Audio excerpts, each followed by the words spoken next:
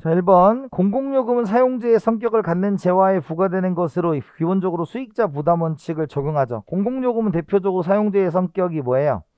경합성과 배대성 뭐 이런 걸 갖고 있는 거고 대표적으로 뭐 수도, 가스 뭐 이런 것들 많이 얘기하고 수익자 부담 원칙이니까 대표적으로 편익 원칙이 되겠죠. 그래서 내가 사용하는 만큼만 낸다. 뭐 이런 거죠. 그죠? 그 다음 2번 비용 체감 산업은 초기에 대규모 설비 투자가 요구되는 경향이 있다. 왜냐면 비용 체감 산업이 되려면 규모의 경제가 발생해야 되고 규모의 경제가 발생하려면 대량 생산이 이루어져야 되겠죠. 그럼 대량 생산이 이루어지기 위해서는 대규모 설비 투자가 필요하겠다라는 얘기입니다. 그 다음에 3번 비용 체감 산업은 평균 비용보다 한계 비용이 낮다라는 거죠. 그러면 비용 체감 산업은 장기 평균 비용이 감소하는 겁니다. 장기 평균 비용. 그런데 평균 비용이 감소하려면 A와 M 중에서 누가 커야 된다? 우리가 M이 커야만 되겠죠. M과 A 관계. M이 크면 A가 커지는 거니까. 그죠? 그래서 평균 비용보다 한계 비용이 낮다. 한계 비용이 작다라는 게 맞는 얘기죠. 네 번째, 비용 체감 산업은 시간이 경과함에 따라 자연 독점화하는 경향이 있다. 왜냐면 비용이 체감한다라는 것은 대규모 생산이 이루어지고 다른 기업이 들어오기가 어려워진다라는 뜻이에요. 그리고 여러분들 특히 지금 요거 3번 같은 경우는 이렇게도 표현할 수 있어요. 이렇게 이렇게 LAC가 있고 이렇게 LMC가 있으면 요걸 이제 말로 다시 표현하면 장기 한계 비용 곡선이 장기 평균 비용 곡선보다 아래에 있다. 뭐 이렇게 표현해도 3번은 똑같은 말이에요. 아시겠죠? 자, 5번부터 시작합니다.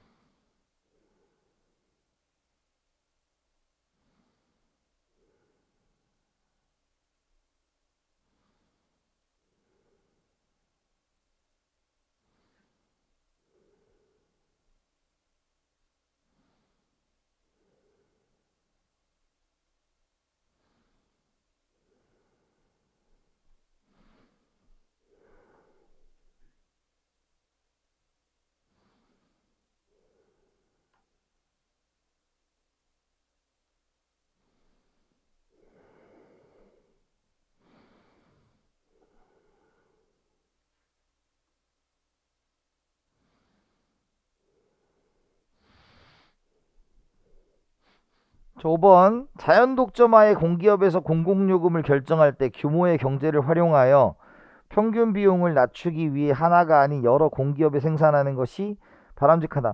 평균 비용을 낮추기 위해서는 대량 생산을 해야 되잖아요. 그럼 여러 기업에 나눠서 하는 것보다는 한 기업에서 하는 게 낫죠. 그래서 X가 됩니다. 6번 자연 독점화의 공기업에서 공공요금을 결정할 때 민간 기업이 생산하고 가격 규제를 하지 않으면 사회적 최적 생산량이 달성이 가능하다 그랬는데 독점인데 민간 기업이 해요. 그러면 독점은 당연히 뭐가 되겠어요? 과소 생산이 이루어지겠죠? 틀렸다. 7번 자연 독점화의 공기업에서 공공요금을 결정할 때 2부 가격 제도를 실시하면 생산량 자체는 효율적이에요. 왜? 그만큼의 효율적인 부분을 만들기 위해서 가격과 한계 비용을 맞춰서 무엇을 만들어 놓고 사용료을 만들어 놓고 나머지 손해보는 부분을 다 뭘로 생산 소비자 잉여로 가입비로 받아버리는 거죠. 그래서 맞는 얘기입니다. 자연 독점화에서 공기업에서 공공요금을 결정할 때 한계 비용 가격을 설정하는 경우 해당 공기업의 이윤 0이 된다. 자, 이거 8번, 9번 틀리면 큰일 나요. 꼭 기억해야 되는 거죠. 8번, 9번. 한계 비용 가격 설정은 경제적 이윤이 빵이 아니라 소네. 평균 기업 가격 설정은 과소, 비효율적. 이 8번, 9번이 제일 많이 나오는 거니까 뭐 그 이상 그 이하도 없어요. 막 그래프로 막 설명을 해드렸지만 시험 문제에서는 이 두 가지 문장을 구분하여 체크할 수 있느냐를 따지는 겁니다. 자, 10번 일반적으로 공공 부분이 생산하는 재화나 서비스의 한계 비용 가격 설정 효율적인 결과를 나 초래할 수 없다. 효율적인 결과를 초래할 수 있죠. 그죠? P 이꼴 MC가 뭐니까 완전 경쟁 시장 수준의 그 이윤 극대화 점이기 때문에 가능하다라는 거죠. 11. 전기, 수도, 가스 등 사용자의 성격을 는 재화 서비스의 경우에는 조세보다 높은 공공요금을 부과함으로써 재화부 효율성을 높다. 조세, 조세보다 공공요금을 부과한다. 그래 효율성이라는 거 뭐냐면 필요한 사람이 그만큼 돈을 낼게요 라는 거죠. 그러면 사회적으로 필요한 양이 달성될 수 있으니까 이런 뜻입니다. 규모의 경제가 작용하는 재화나 서비스의 경우에는 한계 비용에 따라 가격을 설정하면 손실이 발생할 수 있다. 램지 가격 설정은 효율성을 달성할 수 있는 분배상의 문제. 그러니까 램지는 항상 분배상의 문제를 갖고 오는 친구죠. 효율성을 줄이는 것을 최종 목표로 하는 친구기 때문에 14번 공공요금 설정에서 분배적 측면을 고려한 낮은 가격 책정은 재정 정부의 재정 부담을 증가시킬 수 있다. 왜? 분배적 측면을 고려했다라는 것은 가난한 사람을 도와줘야 된다라는 기본적인 마인드를 갖고 있고 그렇게 된다면 재정 부담이 증가할 수 있겠죠. 그러니까 이건 옳고 그름의 문제는 아니고요. 그냥 재정 부담의 측면에서 본 겁니다. 15. 규모에 대한 수학 체증인 공공 서비스 공급일 경우 한계 비용 가격 설정으로 요금을 설정하면 공급되는 공공 서비스 양은 효율적이다라는 거예요. 그죠? 그래서 여러분들 객관식 만들 때 오답 만들 때 이거 바꾼다고요. 규모에 대한 수익 불변, 규모에 대한 수익 체감 뭐 이런 식으로 바꾸면 우리가 했던 게 다 안 맞는 거예요. 무조건 체증일 때만 맞는 겁니다. 아시겠죠? 그래서 요거를 바꿔서 문제를 낼 수 있다라는 것입니다. 자, 넘겨서 시작하세요.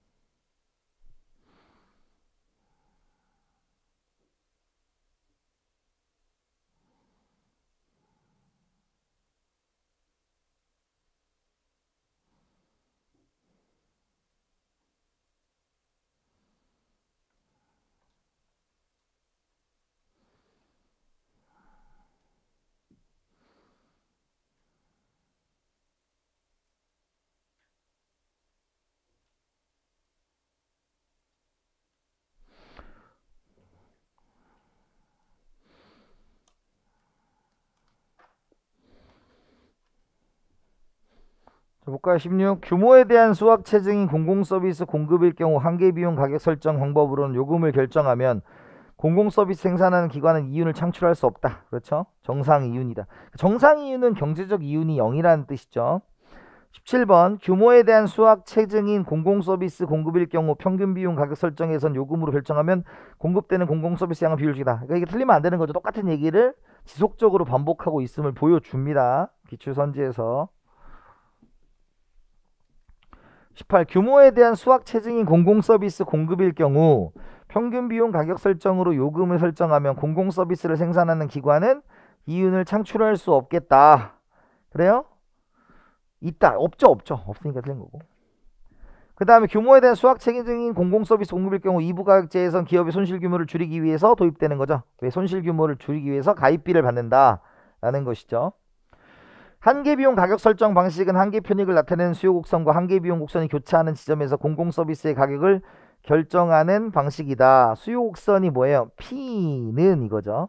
한계 비용 MC는 이렇게 만드는 거죠. 그러니까 P가 수요 곡선입니다. 수요 곡선. 그래서 우리가 이제 수요 곡선이라고도 하고 역수요 곡선이라고도 표현하는 거죠. 똑같은 말이에요. 그러니까 Q는 이 수요 곡선, P는 역수요 곡선 이렇게 표현합니다.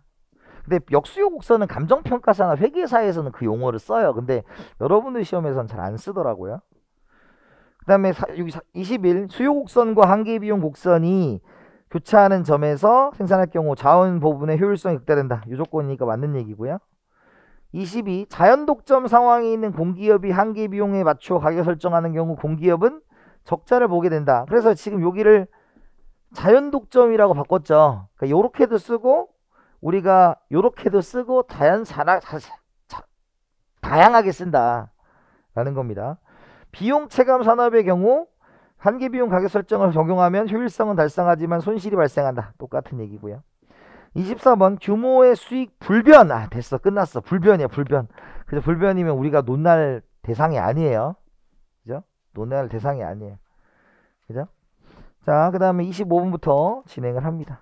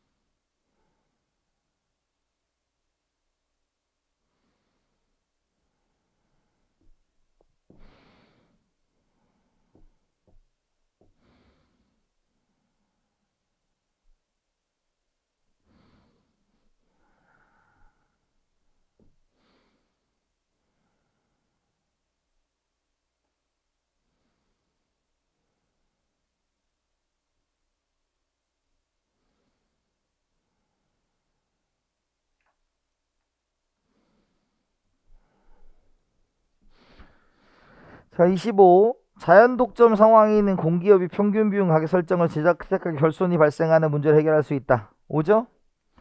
26. 자연 독점일 경우 평균 비용 가격 설정을 하면 경제적 이윤이 0이다. 경제적 이윤이 0이다. 정상 이윤이다. 똑같은 얘기. 자연 독점 상황에서 공기업이 평균 비용 가격 설정을 채택할 경우 한계 비용 가격 설정에 비해서 가격은 높고 공급량은 적게 된다라는 거죠. 그래서 요게 요 말이죠. 그래서 P꼴 MC인 게 뭐였다? 한계 비용 가격 설정. P와 MC 중에서 얘가 이렇게 큰 거죠.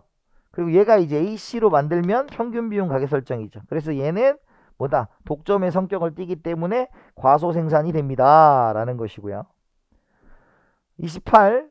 규모에 대한 수익 체증이 존재하는 경우 평균 비용 가격 정책을 실시하면 효율적인 자원 배분이 된다. 평균 비용 아니라 그랬죠. 규모의 경제가 존재하여 발생하는 문제를 해결하는 방안 중의 하나로 2부 가격 제도를 들 수 있다. 라는 것이고요.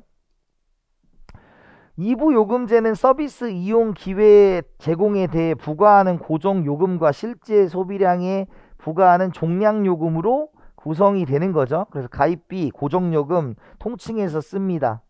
31. 일정한 가입비를 징수하고 사용료는 한계 비용에 맞추어 결정하는 2부 가격 제도는 효율적인 생산수 달성할 수 있다. 요 문장 외우세요. 요 문장 외우시는 거죠.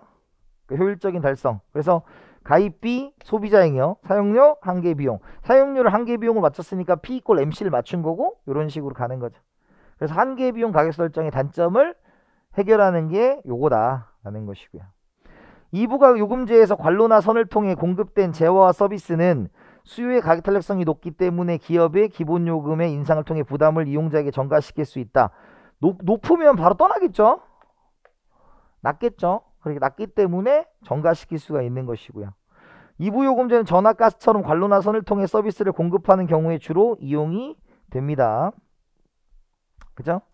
그 다음에 이부 요금제에서는 소비자의 가입비가 묵시적 장벽으로 작용하는 부작용을 생각할 수 있다.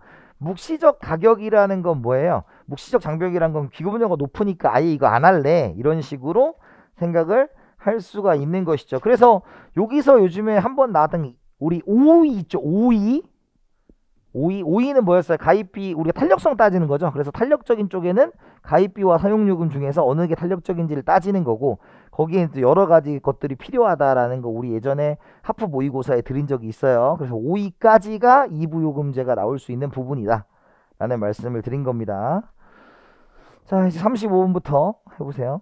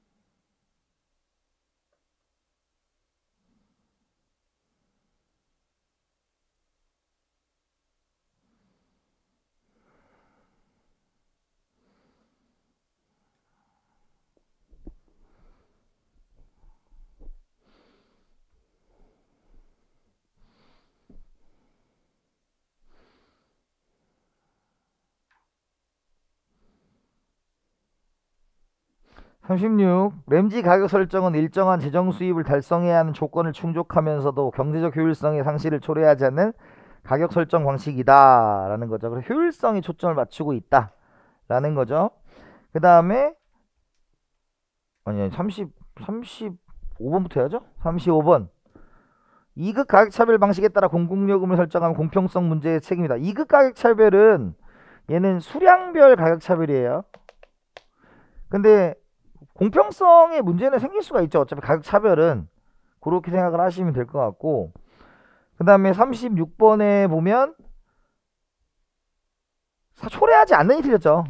극소화하는 이죠. 극소화하는. 그러니까 초래하지 않느냐 극소화하는이었고 37 램지 가격 설정은 일정한 지정 수입을 달성해야 되는 조건을 충족하면서 파레토 효율성 달 파레토 효율성 달성을 못 한다고요. 그러니까 초과 부담의 최소화라는 말을 맞지만 달성까지는 아니에요. 달성까지는 아니고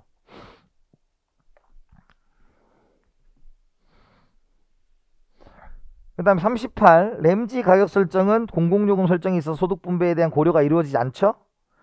그 다음에 램지 가격 설정에 따르면 비효율성을 최소화시키기 위해서는 수요의 가격 탄력성이 클수록 가격과 한계 비용 격차는 상대로 커야 된다. 아니죠. 이거 기억해요. X.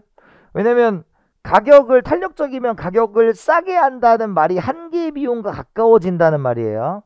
더 폭리를 취하지 못한다. 40. 램지 가격 설정 방식에서는 수요의 가격 탄력성과 큰 공공 서비스의 경우에는 한계 비용 수준에 근사하도록 되는 거죠. 그래서 39, 40 요거 연결해서 램지 가격 설정 기억을 해 두시고요. 당연히 램지에서는 기본적으로 효율성의 최소화, 상실의 최소화지 달성은 안 된다까지 기억을 해 두시면 되는 거죠. 램지 가격 설정은 소득분 방식에서 바람직하지 않을 수 있죠. 그 다음에 42번이죠. 그래서 우리가 px px mcx py py mcy